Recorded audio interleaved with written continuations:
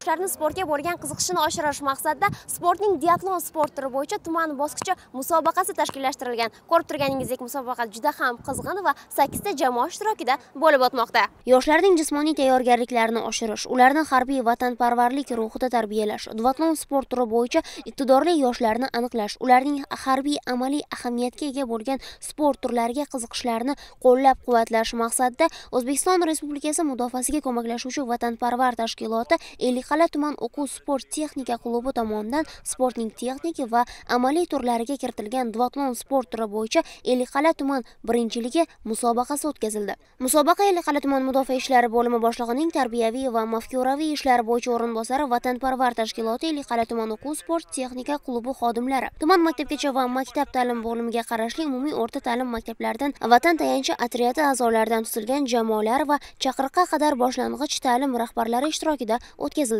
Musobaqa avvalida o'quvchilarga vatanparvar tashkiloti faoliyati va imkoniyatlari duatlon sport turi bo'yicha nizom qoidalari maqsadi va vazifalari tushuntirildi. Musobaqa axloqiy me'yorlar talablariga binoan nizomda ko'rsatilgan qoidalarga muvofiq o'tkazildi. Musobaqa qizg'in turda kurashlarga boy tarzda bo'lib jamoalar chaqonliklari kuchliliklari epchilliklari va bir birlaridan o'zib ketishga harakat qilishdi. O'ttiz oltinchi maktab o'ninchi sinf o'quvchilarimiz jamoamizda o'nta kishi.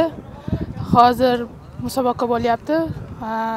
Yugurish bo'yicha kayfiyatlarimiz a'lo natijalarimiz zo'r.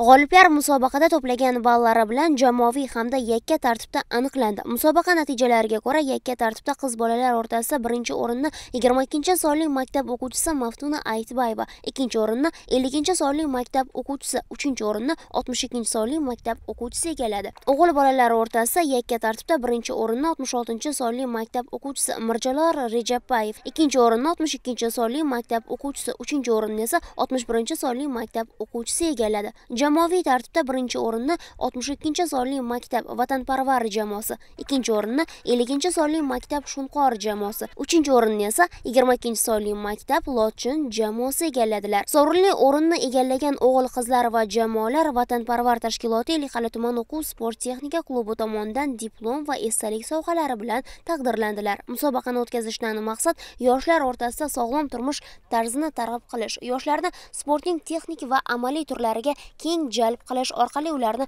jismonan barkamol qilib tarbiyalash mardlik qat'iyatlilik fazilatlarini shakllantirishdan iboratdir.